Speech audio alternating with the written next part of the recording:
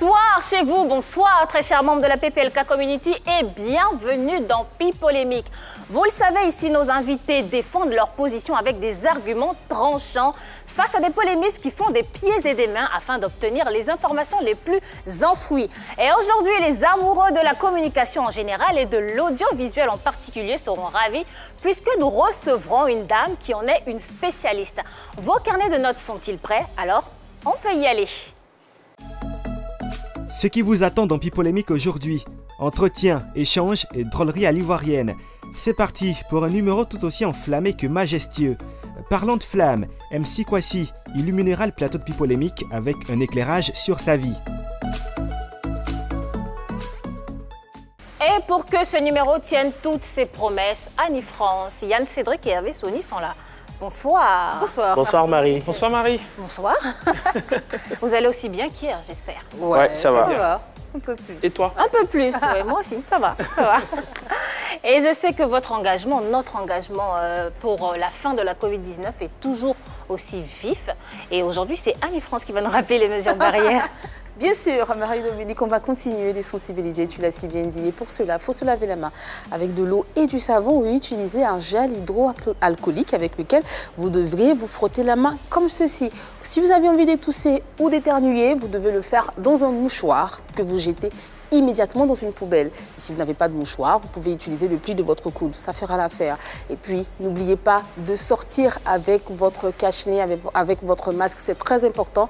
Et surtout, maintenez le mètre de distanciation physique entre les autres et vous. C'est vrai que c'est sinécure, mais c'est important et c'est vital pour tout le monde. Et pour toute autre information, tu as appelé le 119. Merci beaucoup, Annie. Et pour qu'on soit tous là, je vais maintenant faire appel à notre invitée. Elle, c'est une femme de communication. Elle s'est révélée au public ivoirien grâce à ses talents d'animatrice à la radio-diffusion télévision ivoirienne RTI à partir de 1991. Passionnée de culture générale, ambitieuse et surtout spécialisée en management de radio de proximité, elle finit par créer sa propre radio, devenant par la même occasion la première femme propriétaire de radio en Côte d'Ivoire. Et ceci n'est qu'une toute petite partie de ses réalisations. Recevez pour votre plaisir sur le plateau de PPLK la dame aux multiples casquettes, Marie-Catherine Kouassi.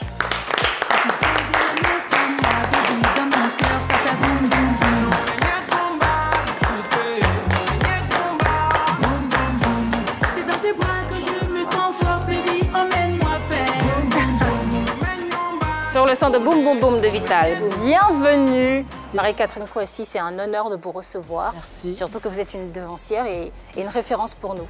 Merci, c'est un plaisir d'être là également. Merci beaucoup. Bonsoir. Merci Bonsoir, bienvenue. J'ai dansé tout à l'heure, hein, boum, boum. J'aime bien. Ça me met de bonne humeur. Ah d'accord. Et vous dansez bien en tout cas. Oh, c'est pas, dansé, Un tout c'est petit, pas un tout petit sûr. peu. là. Franchement, c'est pas sûr. On a Non, vu non, un non. tout petit peu. On danse toujours très bien assise. C'est vrai. Euh, mais bon, euh, ce son-là me donne envie de bouger tous les matins. En tout cas, euh, c'est ma petite tasse de thé. Bon, on va vérifier vos aptitudes après, après l'émission. Ah, il y a une affaire comme ça Bon, vous connaissez l'équipe, hein, Oui, Annie je France, Yann. Cédric, Bienvenue. Hervé. On est tous très contents de, de vous avoir. Merci, c'est gentil. Je me sens bien. Vous vous sentez bien Ah, on en est content. Alors nous, en début de- d'émission, on se fait une, on se fait deux petites blagues comme ça pour bien s'installer, et on va le faire avec vous si vous voulez bien. On le fait ensemble? Euh, vous me faites une blague? Hervé Soigny va s'en occuper, Hervé, je vous écoute alors. et elle sera pour nous tous. Allez, à l'ivoirienne. Hervé Souoni, quels sont donc les deux tableaux du jour? Hier, dans un restaurant pour le dîner, j'étais avec... euh, Avec qui? avec elle. Avec Juste elle à côté de moi, il y avait un monsieur avec son, son épouse ou sa, sa J'ai eu chérie. peur. Ah, mais moi aussi Et il lui dit, Aminata, tu as mangé quoi ce midi? Elle dit, j'ai mangé lecture, mon bébé. Comment ça? Lecture. Lec- quoi, lecture? Mais une salade de laitue, les gars. T'es sûr que c'est Lecture. c'est pas toi? Non Par contre, moi, sur la table, à un moment donné, ça commençait à se corser et, et elle me dit, bébé, pourquoi tu n'as jamais mis ma photo sur les réseaux sociaux? Hmm. Alors je la regarde. Parce que tu comptes trop pour moi. L'hymne national n'a pas de clip. Oh. Ouais, c'est ça. Annie, t'es bluffée, on dirait. Absolument pas. Ouais, je suis bluffée par, euh, par tes mises en scène. Merci Marie, c'est tout pour aujourd'hui. Merci beaucoup, Hervé Souoni. On espère que ça vous a plu. Hein, Bah oui, ouais, ça petites blagounettes. C'est c'est bon, ça va. C'est bon, ça va, ça va. Ok. Allez, on peut maintenant ouvrir les hostilités avec cette grande dame qui a parfaitement allié mannequinat, enseignement et puis se lancer dans l'audiovisuel et devenir la première femme propriétaire de radio en Côte d'Ivoire. Marie-Catherine Kouassi. Elle a été mannequin, enseignante, animatrice radio-télé. Aujourd'hui, elle est la présidente, fondatrice et directrice de Cocody FM, une radio qui compte dans la cité et dans le paysage audiovisuel ivoirien. MC Kouassi, c'est également cette dame, élégante jusqu'au bout des ongles, qui refuse qu'on l'enferme dans un monde autre que le sien. MC Kouassi sur le plateau de Pipolémique pour un échange sans fioriture. Et voilà pour le sujet du jour. 203 du bouquet Canal+, 740 de Star Times et le numéro 3 de la TNT sont les canaux sur lesquels nous sommes disponibles. Nous sommes également sur notre application RTI Mobile à télécharger sur Play Store ou App Store. Et pour tous ceux qui ne peuvent pas nous rejoindre maintenant, les replays sont disponibles sur la page YouTube de l'A3. Courez vous y abonner, c'est très très important. Pour donner vos avis ou poser vos questions à nos invités en plateau, c'est simple. Laissez-nous vos numéros de téléphone sur la page Facebook de la 3 sur tous nos visuels et vous pourrez intervenir en direct. Une autre configuration de proximité, c'est bien le direct de la page Facebook de la 3. Vous pouvez laisser vos commentaires précédés de l'hashtag PPLK. D'ailleurs, on est heureux de vous savoir toujours aussi mobilisés sur ce direct, les chouchous. On vous envoie plein plein de kissous. Continuez, likez, commentez, invitez tous vos amis et laissez-nous des cœurs. Allez, les dés sont jetés. Marie-Catherine Kouassi est là. on peut donc commencer. Et au commencement, vous étiez mannequin. Oula euh, La mode, ça a été, euh, comme toutes les petites, hein, toutes les petites filles, on aime bien la mode, on aime bien les tissus, on aime bien les, les sacs à main, les accessoires, on, on suit un peu, un peu sa maman. Euh, donc au départ, c'était un petit peu ça, ce rêve de, de- de petite fille. Et dès que j'ai eu l'occasion euh, de, de- faire le pas, j'y étais allègrement. J'étais déjà donc étudiante, en fait. J'étais étudiante à l'école normale supérieure. Et puis j'ai eu l'occasion de porter un vêtement d'une styliste ivoirienne. À l'époque, il y avait vraiment beaucoup de succès, euh, Yvette Hollande.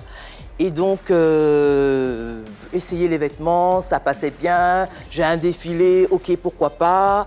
Euh, et, et voilà, je rentre comme ça, je- j'essaie les vêtements, ça me plaît. Elle, elle aime bien aussi, euh, j'avais déjà ce petit côté folichon là. Donc, on y va. Et euh, on part loin, hein, on part au Brésil, euh, on Ah. fait des défilés à n'en plus finir. Étant étudiante déjà. Euh, étant étudiante, et puis je prends goût. Voilà, je prends goût à la chose. euh, je me rapproche de Femmes d'Afrique. Je commence à faire la couverture de Femmes d'Afrique avec Chris Seydou euh, euh, qui nous aide dans les accessoires, dans, dans- dans- dans les, vêtements à choisir et tout. Et puis voilà comment tout commence. Hein. Ces Femmes d'Afrique, en fait, euh, j'étais pas grande. Je suis toujours pas grande parce que j'ai pas grandi depuis Bon, le un peu le plus que moi, en tout cas. Mais on estimait que j'avais un joli minois et que je pouvais faire des, des magazines, donc euh, presse, presse papier. Oui.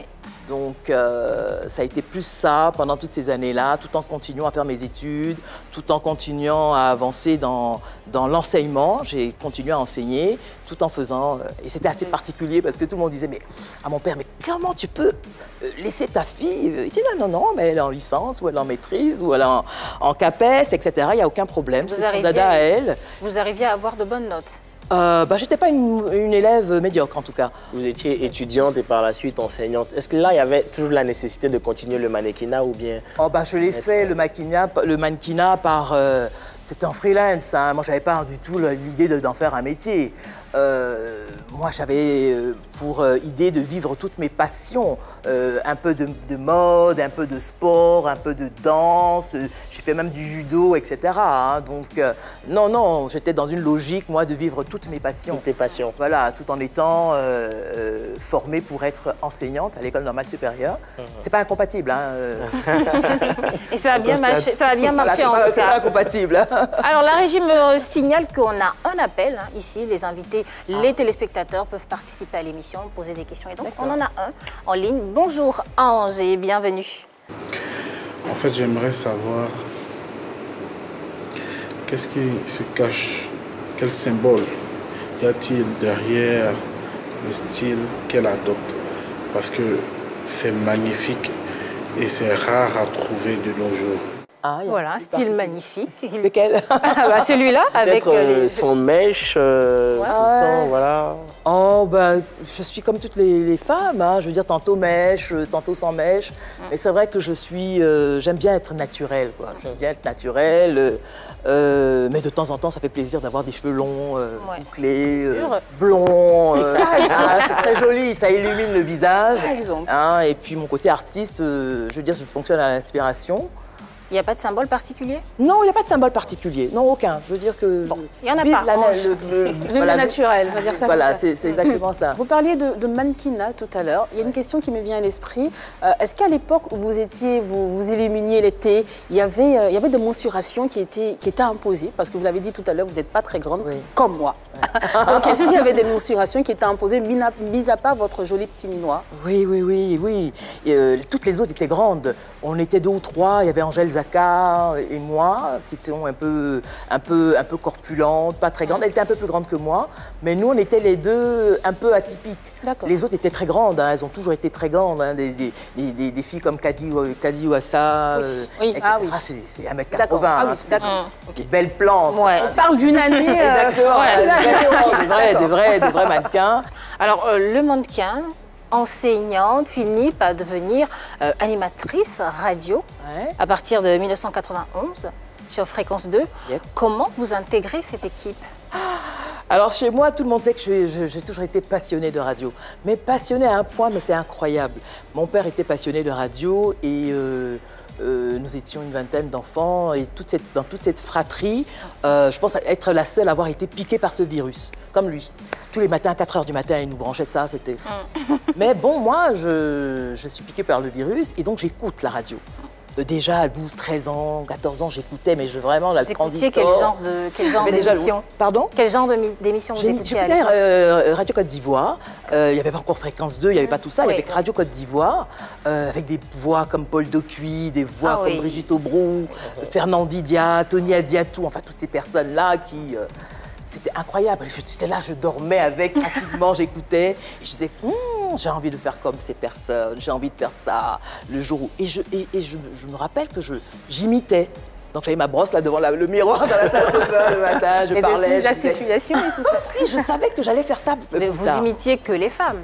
Euh, les bah, hommes. les hommes également. Je veux dire qu'en termes de style, euh, prendre la parole, c'est un, un style aussi. hein. Oui. dire, on peut ne pas avoir la même intonation. Le style. Mais bon, je veux dire, il y a une personnalité qui se dégage à chaque fois qu'on soit homme ou femme. Mm. Et donc, euh, Massi Domingo, qui était donc justement ma belle-sœur, euh, un jour de 91, euh, me dit Écoute, euh, Cathy, parce que mon- mes intimes m'appellent Cathy. Alors, Cathy, toi qui aimes la radio et tout ça, la RTI va lancer sa première radio jeune et tout ça, va t'inscrire. et tout. Je ne me suis pas fait prier, je suis allée, je me suis inscrite, il y a eu un casting. J'enseignais déjà. hein. Ouais. J'étais déjà, après, après donc, Collège Cody, j'étais donc déjà à, à Yopougon. Et puis, j'ai été donc m'inscrire. Mais avant ça, j'avais été euh, invitée à une émission par Brigitte Aubrou.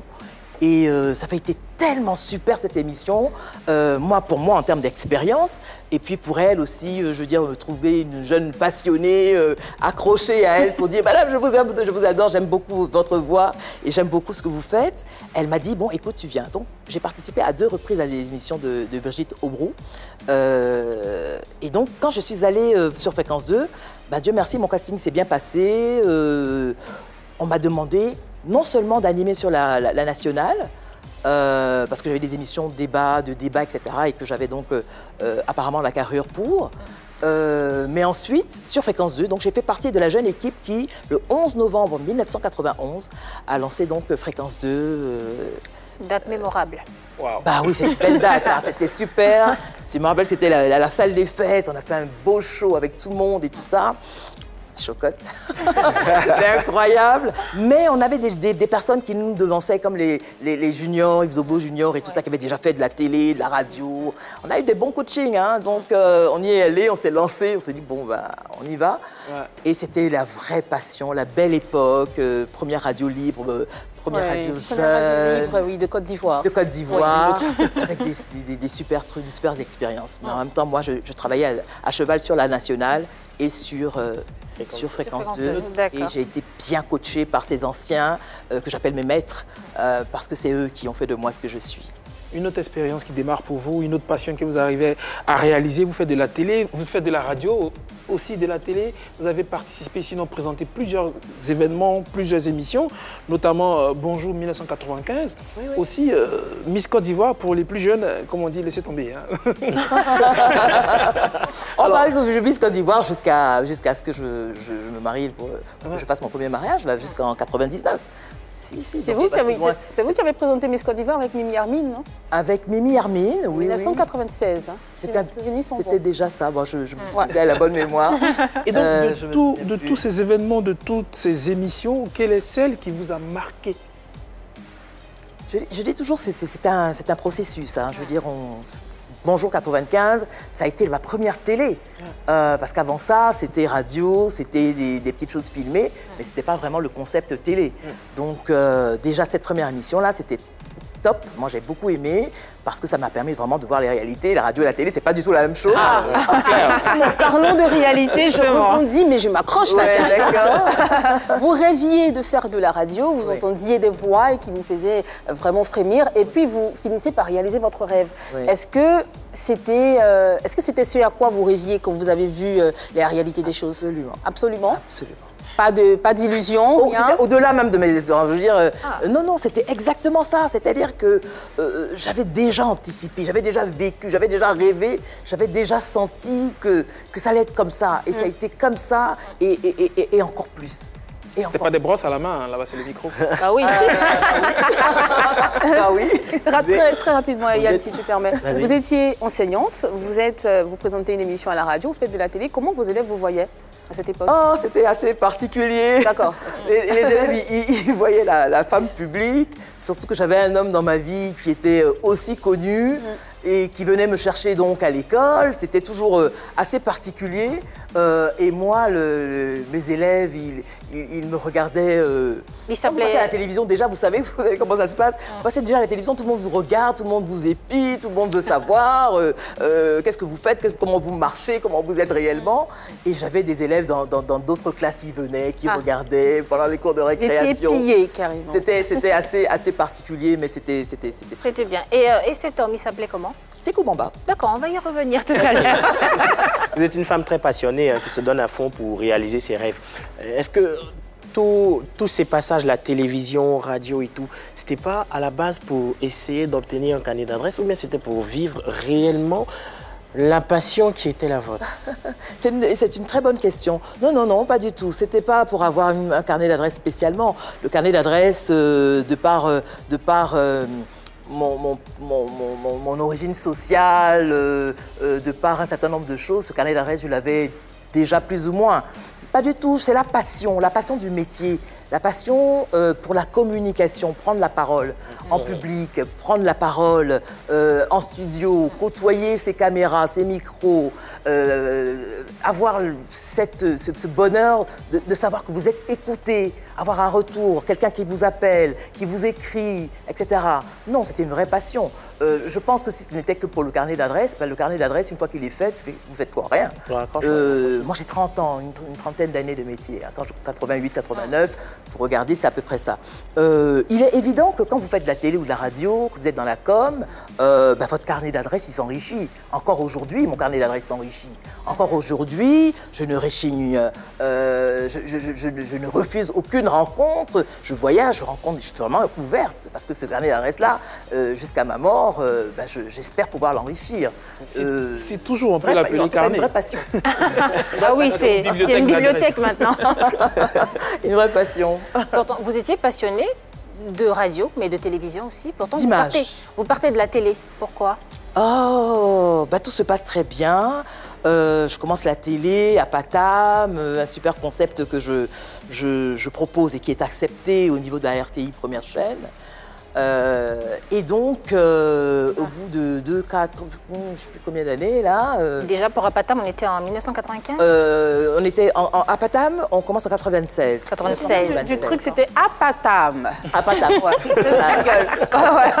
Tu peux nous refaire le jingle s'il te Ah, plaît oui, Apatam. C'était, je crois que c'était les après-midi, non Un truc comme ça, ça avait passé en rediffusion. Ça passait le soir. Voilà, c'est ça. Enfin, nous, on voyait la rediffusion le soir. un truc comme ça. Elle, a, elle a de la mémoire. c'est oui. Non, je ne me souviens même plus de ce, de ce générique. Euh, on parlait de quoi déjà? De Apatam. Et donc. euh, Et de votre départ aussi à RTI. Très bien. Euh, au départ, c'était une fois par mois, et puis ensuite, c'est devenu une fois par semaine. Et euh, en même temps, entre-temps, j'avais ouvert, donc j'avais créé ma, ma structure de communication euh, avec un, un magazine euh, euh, qui me permettait de voyager à travers les pays d'Afrique, rencontrer les premières dames, leur faire des interviews, rencontrer des personnalités, en tout cas faire en sorte que l'environnement culturel du pays que je visitais euh, soit euh, euh, relayé dans, dans- dans le magazine en question. D'accord, pardon. Vous rencontriez les premières dames. Vous aviez quel âge à l'époque? J'avais quand même 31, de- 32 ans, puisqu'en 94, mon père décède, Mm. donc j'avais 30 ans. Donc ensuite, euh, 31, 32 ans, j'étais quand même une jeune dame, responsabilisée, parce qu'on a, quand, quand on a enseigné, on a déjà un, un- un niveau de responsabilité intéressant. Euh, et donc, j'étais partie au Sénégal pour faire la promo de mon, de mon, de mon magazine et rencontrer donc des personnalités qui devaient euh, m'aider à avancer dans, dans ce magazine-là. Et puis, euh, je suis la veille, je suis revenue la veille de, l'enregistrement de l'émission. Et l'équipe de la direction a estimé que je n'avais pas participé euh, aux préparatifs de l'émission et que j'étais sanctionnée par rapport à ça. D'accord. Euh, voilà, j'ai dit que je vais faire mieux, je vais démissionner parce que j'estime que c'est mon concept. C'est mon concept. Euh, J'estime que je, je maîtrise les choses plus ou moins, qu'il faille me faire confiance. J'aime qu'on me fasse, me confiance, qu'il faille me faire confiance. Et que si on estimait que j'avais pas le droit de voyager pour faire la promotion, moi, de mes activités euh, personnelles, euh, bah, j'avais pas à être là. Je savais pas être là. euh, à partir du moment où on m'empêchait, d'être libre, de gérer ma carrière euh, euh, dans la communication comme je le souhaitais, je n'étais pas un agent permanent. Vous vous êtes pas. la collaboratrice extérieure. Ah, ah. On va pas gérer aussi euh, mes activités extérieures. Euh, bah, j'ai dit, je vais faire mieux. Voilà, je vais vous céder l'antenne, je vais vous céder la place. Et euh, donc, ma, ma collègue a dû, a dû continuer. Et puis ensuite, bon, les choses se sont gâtées parce que quand c'est vous qui êtes au départ d'un concept, c'est votre concept. euh, bah, le concept, il est là. Voilà, il va vous bien, savez quoi. comment, euh, jour on vous, le faire on vous remercie, on vous remercie, vous vous remerciez également. Et puis, bah, vous partez avec votre concept et toutes les petites choses qui font que le concept, il est là. Vous partez avec votre, votre concept, on ne vous voit plus euh, sur les écrans pendant un moment. Et des années plus tard, la première dame à avoir une station de radio en Côte d'Ivoire. D'où vous vient l'idée d'avoir une station de radio en Côte d'Ivoire? Euh, une opportunité, voilà, une opportunité. J'apprends par un ami euh, que l'État de Côte d'Ivoire va libéraliser le secteur le paysage, oui. euh, et que l'année 98, 1998, va être une année, une belle année pour ceux et celles qui ont des ambitions de ce. Avoir une radio, c'était pas vraiment mon, mon truc. Et puis, bon, euh, au fur et à mesure, je me dis pourquoi pas. J'avais déjà créé mon, ma, ma structure de communication avec un premier bébé euh, Image Magazine. Euh, je me suis dit oui, pourquoi pas, euh, Image Magazine, presse papier, euh, une radio, et puis peut-être que plus tard, éventuellement, une télé. Euh, donc j'y vais, je dépose ma candidature, les choses se passent, les enquêtes, et tout et tout. Et puis, en 1998, en novembre, en, quoi, en mai 1998, euh, l'État de Côte d'Ivoire nous donne donc ces licences-là. Et je suis la première, mais je suis, j'étais la seule à, l'é- à l'époque propriétaire donc de, de cette licence-là. Et on nous avait donné un an, un an, un an pour pouvoir lancer nos radios, sinon on nous retirait. euh, au moment, je vous assure, je vous assure, ça c'est une petite confidence, mais au moment où je reçois la licence, j'ai pas un sou. Ah oui. Comment vous faites pour lancer la radio alors? Ah, Le carnet d'adresse. histoire. parce que c'est- Le carnet d'adresse, euh, oui et non. J'ai la chance d'appartenir à, une- à une famille euh, avec un frère qui Oui. était à l'époque. oui. Voilà, mon grand frère qui était à l'époque le chef de famille, puisque j'avais perdu mon papa. D'accord. Et euh, au dernier moment, je voulais même pas solliciter ce, ce frère-là. Ah, Parce que, attends, la petite Cathy avait grandi. bah et donc la je voulais vous poser la question, quel était justement vos liens avec votre frère Excellent, des, des- D'accord. des liens formidables. Mais en même temps, je veux dire, tout le monde sait que j'aime bien faire les choses par moi-même. Oui. J'aime bien relever les défis, j'aime bien bien taper sur ma poitrine. Oh, mais en fait, en réalité, j'avais rien, j'avais rien. Et euh, jusqu'au dernier moment, deux ou trois mois avant, le, je dis bon, je vais voir mon frère, je dis bon, écoute, Yves, euh, c'est-à-dire que ben, j'ai un petit terrain quelque part, bon, je te donne le terrain, tu vois. Il me dit, écoute, arrête ça, il te faut combien? Je lui dis, il me faut tant. Il me dit, écoute, tu viens demain. Et puis, tu vois. Waouh. Alors donc, je viens demain, et puis j'avais, j'ai eu euh, le, le pactole, je suis allé à la banque, tout de suite, on a été euh, en Belgique, tout de suite on a acheté le, le matériel, tout de suite on a cherché à l'installer, on est revenu, et puis on a lancé les choses euh, le 29 mai 1999. Ah, le jour de mon anniversaire. Ah, Ce tiens, genre bah de oui. frère. Oui, Ce genre de C'était le frère. 29, oui. Mais- mais 1999 aussi. vous êtes bien jeune. En 1999. Et donc, pour être clair, c'est euh, c'est le frère C'est une- qui vous aide à, ouvrir la radio. C'est mon, mon grand frère, l'aîné. D'accord. Au moment où vous rendez votre démission, la, la passion, le désir de, de vouloir faire de la télé disparaît automatiquement. pas du tout. Oh là là, non, je l'ai. Cette passion, je l'ai, cette passion, je la garde au fond de moi. Mais mon Dieu, j'ai- j'ai j'ai d'autres opportunités. Entre-temps, je- je- je- je- j'anime Miss Côte d'Ivoire, euh, Miss CDAO, j'ai quelques... Parce que là, on commence à se faire un nom. Ah, vous êtes sollicité pour, pour, pour, pour. Donc, je veux dire que ce contact avec le public, parce que c'est de cela qu'il s'agit, ce contact avec le public, euh, l'image, votre image euh, qui est entretenue, euh, etc., bah, vous l'avez toujours. Vous l'avez toujours. D'accord, donc revenons à, à la radio. On revient, oui. Comment est-ce qu'elle se porte en ce moment, la radio? Ouh, la radio, euh, ma radio euh, bah, va bien. Elle va bien. Elle va bien parce qu'elle a 21 ans. on, on a fêté nos 21 ans euh, en mai, au mois de mai dernier. Euh, c'est pas toujours très facile. Moi, j'ai toujours considéré que ma radio euh, était une radio où on pouvait permettre à tous les jeunes passionnés qui n'avaient pas la possibilité de, de, de, de, se faire une école, d'aller à une école euh, à- et payer à coups de millions une formation, qui avaient juste envie de se retrouver devant un micro et de parler, et d'échanger, et de partager. Ces jeunes-là, ils n'avaient pas besoin d'aller payer des millions pour être- avoir une formation et un diplôme. Ils avaient besoin de pouvoir être formés sur le tas. Par qui Par quelqu'un de passionné, mais par quelqu'un qui, euh, qui connaissait le métier. Parce que moi, dès que j'ai eu ma licence, j'ai eu la chance d'avoir euh, euh, une, une bourse française pour aller à Brie-sur-Marne, à l'INA, pour être manager de radio.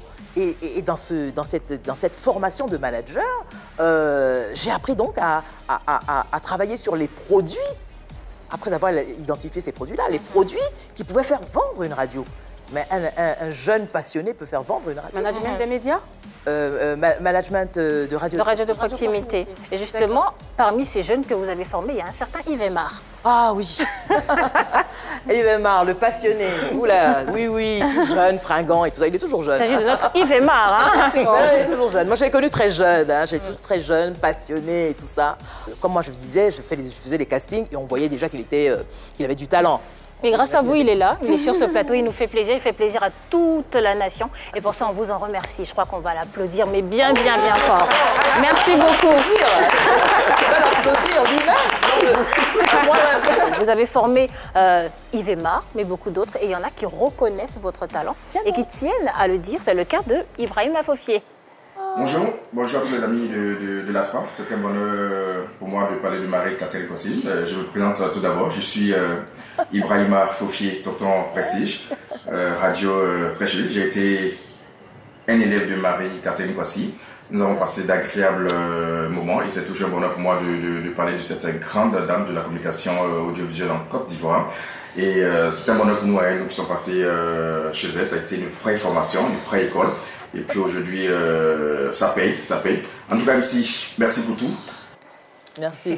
Qu'est-ce que- Ça fait plaisir. Ça fait plaisir. Ça fait plaisir, c'est vraiment, euh, ça fait plaisir. Voilà, c'était aussi un jeune passionné. euh, et de, de radio, euh, qui savait déjà ce qu'il voulait, euh, qui savait déjà euh, que c'était c'était sa carrière qui, qui se jouait. Donc il y avait du sérieux, il y avait de, de, de- de- de- il y avait de tout dans. Il y avait dans- de dans- tout. Aujourd'hui, il est, il est directeur, il est truc. On parle aujourd'hui. On est allé au, au salon de la radio il y a deux ans. On était ensemble euh, l'année dernière euh, euh, et puis cette année également à, Paris.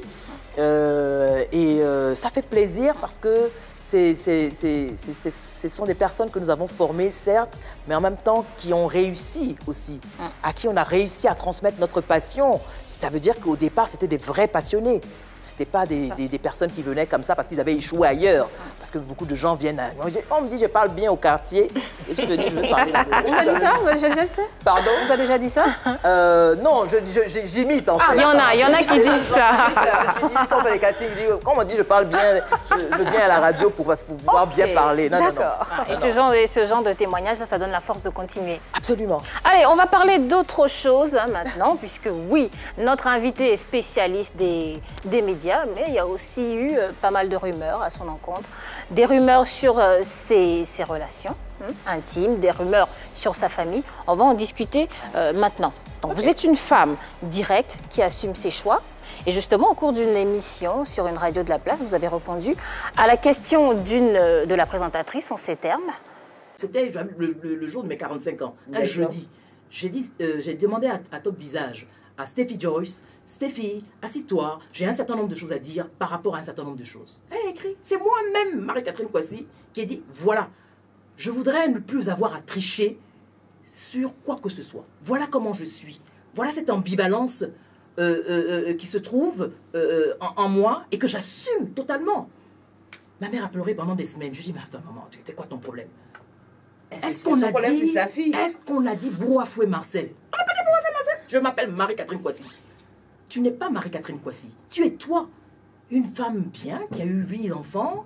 Parmi ça, là, peut-être que c'est un mouton noir. Assume. Sinon, tu as sept, sept autres qui sont bons, peut-être selon ta, ta vision. Un mouton noir, quand même. Après euh, toutes vos réalisations, toutes ces personnes que vous avez formées, vous êtes aujourd'hui directrice, euh, propriétaire de radio. Vous vous considérez vraiment comme le mouton noir de la famille? Oh, bah, un mouton noir, c'est une image.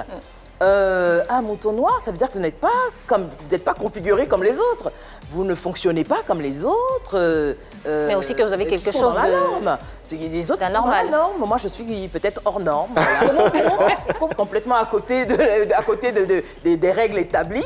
Et, et donc, je, peux être considéré comme un mouton noir. Justement, parlons de hors normes. Comment vos parents auraient voulu vous voir? Vous avez cité votre mère dans cette interview. Ouais. Comment elle aurait voulu vous voir et que vous n'êtes pas, malheureusement? Oh, des- des- les parents, ils veulent toujours que vous soyez euh, euh, comme, comme, comme, comme, ils, comme, comme ils veulent, comme... Vous idéalisent Euh, oui, bah, on vous dit, euh, maman, euh, euh, ma fille va se marier, ma fille va faire ceci, elle va avoir des enfants, euh, elle va avoir une belle vie, ceci et, et tout. Et puis bon, euh, nous sommes en Afrique, nous sommes encore dans, dans- dans un certain con- conservatisme euh, et euh, ça peut paraître un peu bizarre d'avoir une, une fille euh, qui a un nom, une réputation, euh, des ambitions, etc. Et puis qui se met à parler de son intimité. D'accord. Euh, ça peut choquer. Oui. Euh, et elle, elle a été choquée. euh, parce qu'elle pensait pas que je serais allée jusque-là. Justement, en parlant, je crois que Yann Cédric a une question. Effectivement, nous sommes dans l'axe qui nous intéresse et j'ai lu dans une interview et je cite Yep. Mon genre de femme, je les aime calipi. Comment est-ce que votre entourage et comment est-ce que votre famille euh, voit Votre mère, comment elle l'a pris voilà. Alors, alors vous, ça, ça va vous étonner. hein. Euh, L'âge de la majorité en Côte d'Ivoire, c'est c'est pas- c'est 21 ans. 21 ans. C'est 21 ans. Et maintenant, c'est passé à je suis- 18 je suis même. autonome depuis que j'ai 21 ans. Parce que, parce que je veux dire que pour pouvoir être soi, il faut avoir la possibilité de pouvoir être euh, libre, de dire et de vivre comme on veut. Moi, j'ai très vite compris qu'il fallait que je sois libre, que je sois autonome, euh, afin de pouvoir, moi, m'affirmer par rapport à ma vision. Alors, très tôt, j'ai commencé à travailler. Très tôt, j'ai commencé à être un- autonome, euh, à vivre chez moi, à vivre ma vie euh, telle que je la voyais. Et euh, à partir de ce moment-là, qu'est-ce que... À, à- à partir du moment où vous montrez que vous êtes quelqu'un d'autonome, qu'est-ce que vous voulez que votre famille ou qui que ce soit vous dise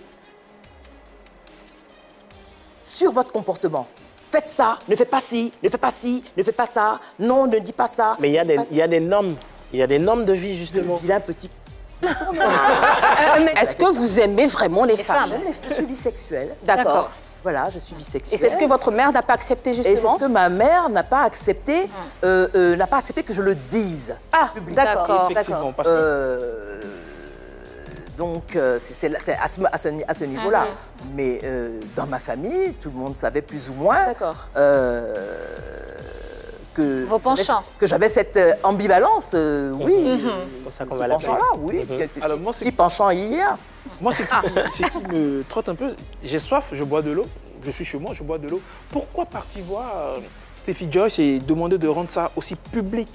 Pourquoi? J'avais un certain nombre de choses à dire. À dire. D'accord? Euh, C'est pas au hasard, hein, c'est pas lors de mes deux ans, euh, 45 ans. Mm. À 45 ans, on n'est plus un enfant. C'est clair. On a une vie, on a vécu sa vie, on a vécu un certain nombre de choses et on peut avoir des comptes à rendre, des, des- des- des comptes à, à régler. Vous aviez des comptes à régler? Oui, j'avais quelques comptes à régler sur euh, justement. chut. Ah, vous entendiez des rumeurs, hein? Oui, j'entendais des, des trucs. euh, D'accord. des- bruits. chuchotements, des bruits de couloir. Alors, alors, euh, les, les chuchotements ou, ou les petits cadeaux que vous faites et qui sont interprétés ou vos, vos- vos actes qui sont interprétés, etc. On va couper court à 45 ans. Je fais ce que je veux. C'était ça. D'accord. Vous, Et puis j'ai envie de parler. Elle me dit oui, ok, d'accord, on y va. Donc on y est. vous faites partie du Gotha ivoirien et euh, on vous cite en tant qu'influenceuse et tout. Et aujourd'hui, vous affirmez sur ce plateau votre ambivalence. Est-ce que vous pensez que ce sera un modèle pour justement pour ces jeunes-là qui désirent, qui, vous, qui désirent vous avoir pour modèle? Mais on n'a pas à s'occuper de la vie sexuelle des gens. OK? La société nous demande quoi?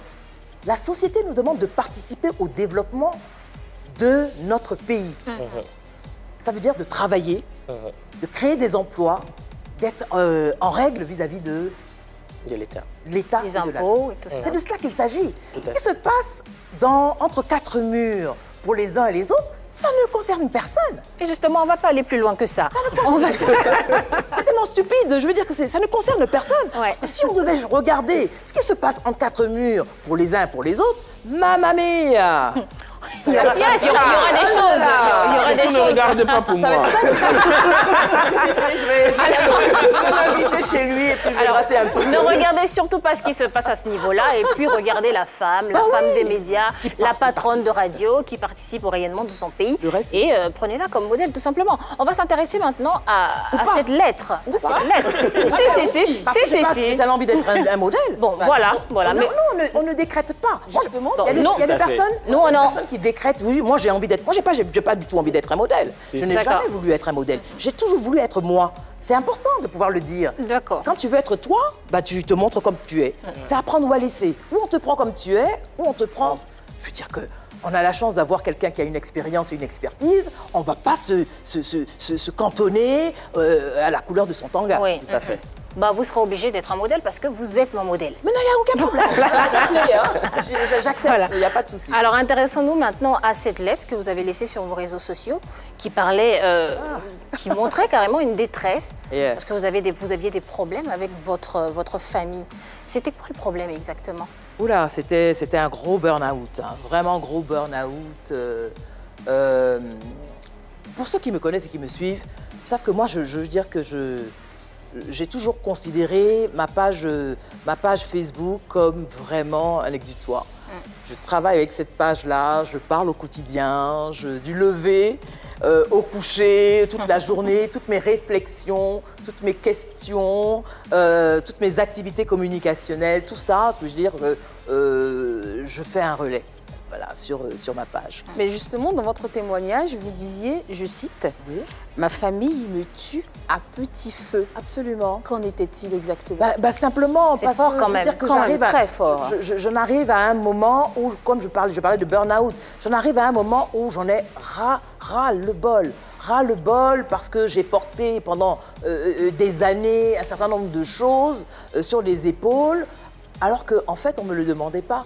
Ah. Je m'étais cru investie d'une mission Je m'étais cru investie d'une mission euh, euh, à, aider ma mère après le décès de, mon père, euh, à aider ma mère à, ne pas sombrer, à, lui faire de la compagnie, à l'associer à tout ce que je faisais, à, à- à voyager, à, à la faire voyager avec moi, aller au restaurant, à la traiter comme une amie. euh, euh, ce qui faisait que, que, que ma mère elle a un compte Facebook, elle a, elle a WhatsApp, Oui. et, et, bah, malgré son âge. Je veux dire que je l'ai considérée comme moi une, une- le prolongement de ma personne, une amie. Et euh, euh, euh, euh, quand j'ai eu mon fils, elle, elle est venue. Elle est restée, elle est depuis, elle n'est plus partie. Donc elle faisait partie de. C'était ma famille. Maman.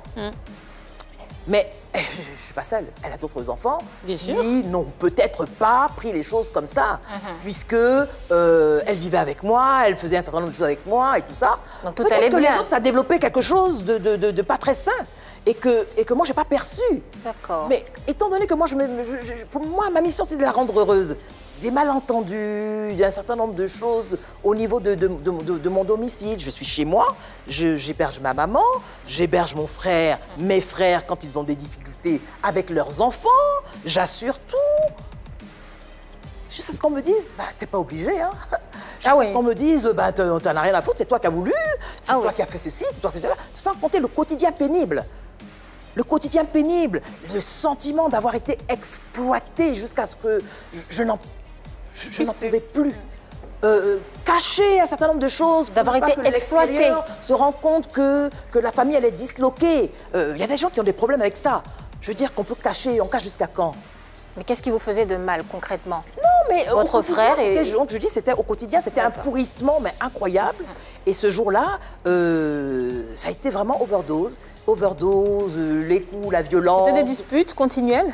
Oui, tous les jours. Des disputes continuelles, des insultes. euh, alors quand vous voyez que vous assurez tout, et, et tout, Et qu'on vous que mettre tout insulte. le monde à l'aise, et qu'on vous insulte en plus, et qu'on vous fait passer pour la vilaine petite sorcière, euh, bah, il y a quelque chose qui ne va pas. En ce moment-là, c'est un petit brin de reconnaissance que vous désiriez avoir de la part de, de- de vos frères, puisque vous- ils C'est sont tellement chez lourd, vous. euh, euh, jeune homme, c'est tellement lourd, c'est tellement lourd qu'on a- on n'aura même pas, on n'aura pas suffisamment de, de l'émission pour développer. Oui. C'était vraiment, comme je dis, un burn-out, un- une overdose. Mais est-ce qu'il y a vraiment eu séquestration? Il y a eu séquestration. Donc, il y a eu séquestration, il y a eu violence. Ma mère était malade, il y a eu violence devant ma mère, il y a eu des échanges, il y a eu des coups, il y a eu vraiment toute la cité qui a été interpellée par les cris, les coups, les, les- les bruits, Wow. euh, euh, euh, etc. Mais une vraie, une vraie honte. Quand je pense que, je veux dire, du matin au soir, vu qu'on était dans cette période de, co- de- de- de confinement, je m'occupais des enfants, je m'occupais de tout le monde, je donnais à manger à tout le monde, j'assurais tout, faire en sorte qu'il y ait un minimum, Et vous avez été battu par votre frère et, et, et violenté Par votre petit frère. par mon petit frère, violenté physiquement et, euh, euh, et, et verbalement. Je n'ai pas supporté. Donc ma mère qui était en train de, de, de, de, de, de- de- de- de crier, de, de, de, se- de- de partir là, euh, euh, ce truc, nous a dit, va dans ta chambre. Je n'ai même pas eu le temps de rentrer et de faire ceci. Je suis rentrée et j'ai été enfermée pour dire, ton, ton, ton, ton, ton, ton, ton, ton, ton, tu vas voir aujourd'hui. Ouais. Donc quand moi je rentre euh, euh, dans la chambre, mon premier réflexe, c'est c'est de passer mon, ma détresse sur, euh, Sur les réseaux sociaux. sur les réseaux sociaux. Euh, oh, oh, oh, parce que je, je le fais pour tout. Bonheur comme malheur. À tout moment, dans la journée, je le fais systématiquement. Pour moi, je parle à qui? Je parle à mes, à, mes, à mes amis, je parle à mes followers, je parle au monde. Je dis que je suis malheureuse et je n'en peux plus. Quand je suis, euh, je, je- je suis à ce niveau-là, c'était vraiment. euh, je n'étais pas en train de chercher à, à réfléchir, savoir est-ce que, est-ce que, est-ce que. Je ne me suis jamais posé ce genre de questions-là. Il y en a qui vous disent Mais pourquoi Mon linge sale, il se lave. Le linge sale, il se lave en, en- en famille. Et moi, j'ai plus de famille. Quand D'accord. tu n'as plus de famille, tu te confies à qui? Aux amis. Ben, faut- faut-il faut-il en avoir C'est pendant cette crise-là que j'ai bien vous- vu. vous n'avez pas du tout d'amis Pendant cette crise-là que j'ai bien vu qui sont mes amis.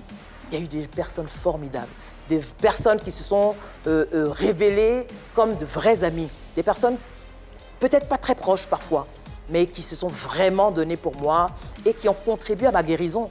Parce que quand vous vous trouvez à ce niveau de dépression, euh, parce que vous êtes mal, ou bien vous sombrez totalement, vous faites un, un- un geste qu'on peut regretter, ou bien euh, bah, vous, êtes, euh, vous êtes entouré et encadré par des personnes qui vous parlent, qui vous soutiennent. J'ai eu à manger, j'ai eu euh, des personnes pour m'aider pour faire le ménage, j'ai eu pas mal de... Mais vraiment des gens qui m'ont écouté, qui m'ont écouté, qui ont écouté mes silences, qui m'ont prise par la main et qui m'ont dit, t'es pas seul. Voilà ce qui nous est arrivé également. Voilà ce que nous, nous supportons aussi en famille. Voilà, voilà, voilà, voilà. Je veux dire que ce processus a été lent, mais une fois que j'ai réussi à mettre des mots sur mes mots, une fois que j'ai réussi à identifier la grande douleur, l'échec, parce que c'était le chèque. Moi, pour moi, j'ai- échoué. J'ai échoué. La promesse que j'ai faite à mon père de, de, de supporter la famille, d'aider, de, de, diriger, de faire ceci et de faire Aujourd'hui, cela, malgré le fait que je ne sois pas l'aîné. Mais euh, j'avais échoué.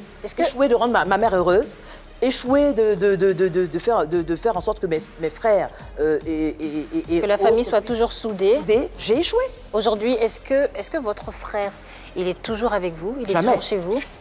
Et votre mère, c'est quoi la relation Mais entre les membres de tout le monde, voilà. Monde? J'ai coupé avec tout le monde pour me reconstruire, pour cicatriser, pour, euh, pour être en paix avec moi-même. J'avais 20 de tension quand tout ça s'est passé. Pendant deux mois, j'ai, le médecin ne savait plus ce qu'il fallait faire. 20, 20, 20, 29, 20, 10, 20, c'est affolant.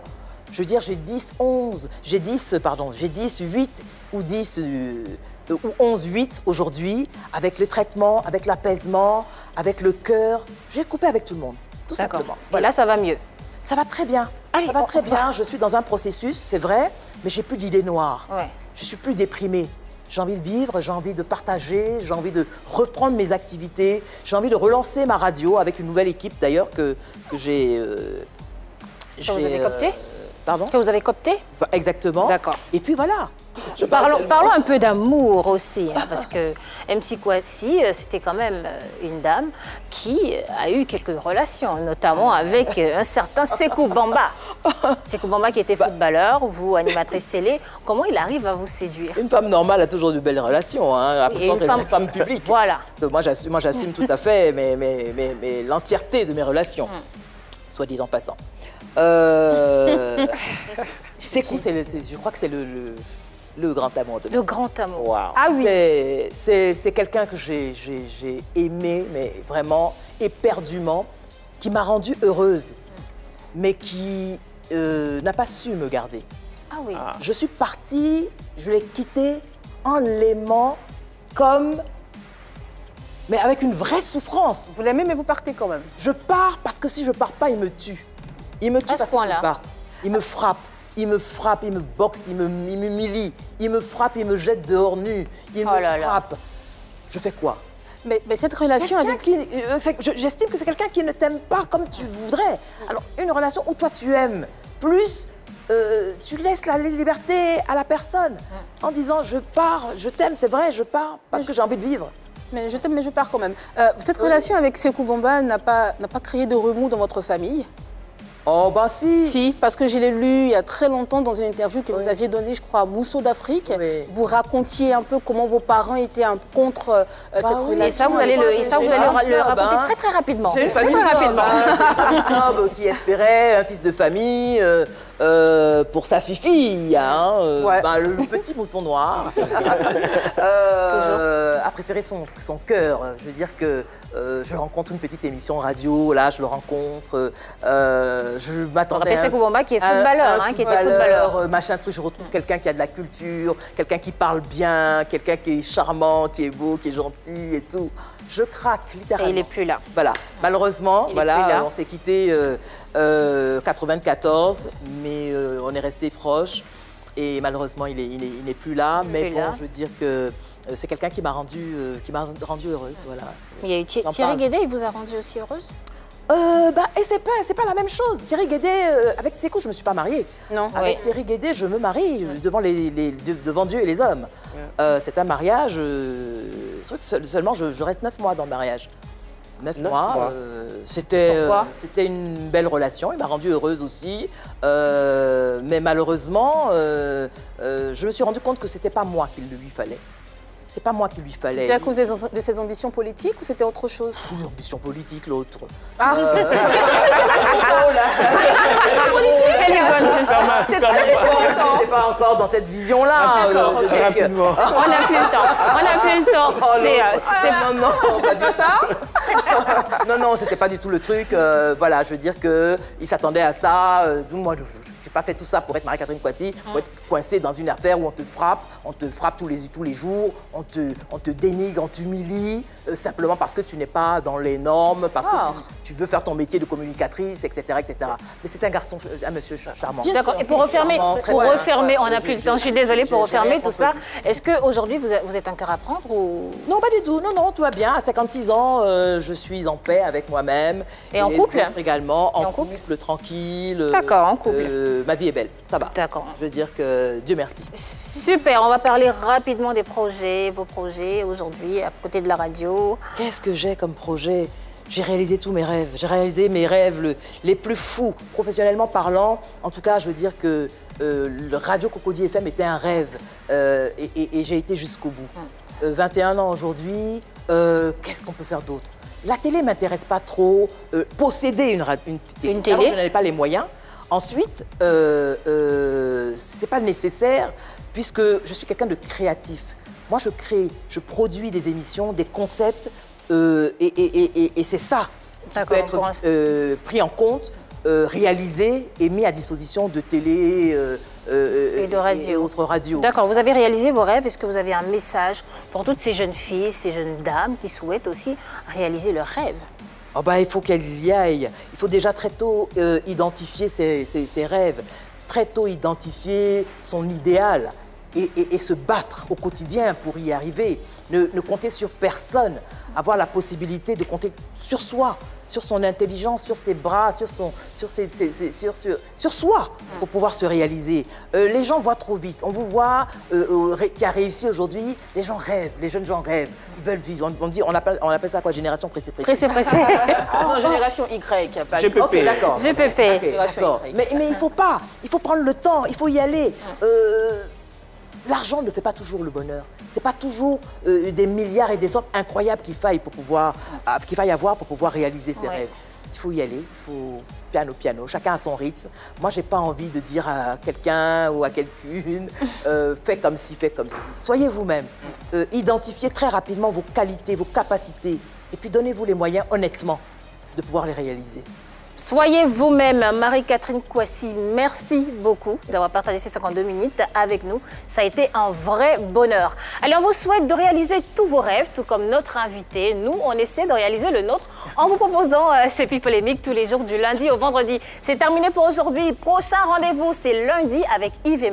Merci à Annie France, Yann Cédric, Hervé Souoni et encore merci à notre invité.